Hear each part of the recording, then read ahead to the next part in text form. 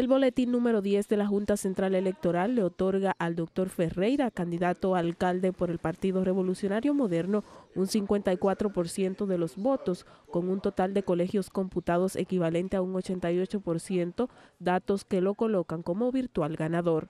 Su escogencia ha generado gran expectativas entre los villaltagracianos. La recogida de basura, eh, la rehabilitación del parque municipal, que se encuentra en abandono por el actual síndico Luis Manuel Méndez Retituyo. Hay 400 personas esperando empleo y no es para todo. Esos son los problemas que va, eh, no creo que es un hombre serio. El pueblo de Villa Altagracia hace mucho que necesitaba cambio y estamos muy contentas por las nuevas autoridades que han surgido.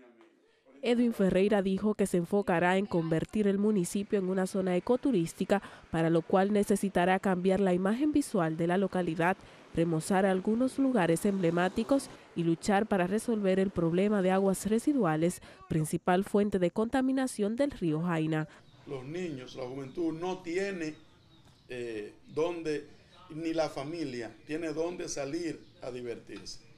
Y entonces nosotros en la, en la salida norte del pueblo, vamos a ir a hacer un parque ecológico. El desempleo y la inseguridad son otros temas de preocupación para el síndico electo y algunos residentes. Aquí hay un problema que es no solamente del síndico, sino del gobierno general, que es la fuente de empleo. Aquí no tenemos fuente de empleo. Pretendemos, para mejorar la seguridad ciudadana, eh, poner cámaras en las entradas del pueblo, eh, Villa a pesar de que no tiene un dinamismo económico importante, ocurren muchos pequeños atracos. Según el censo del 2010, Villa Altagracia tiene 84.312 habitantes y casi el 50% de sus hogares son pobres de acuerdo al mapa de pobreza del 2014. Tania Nivar, Informativos Teleantillas.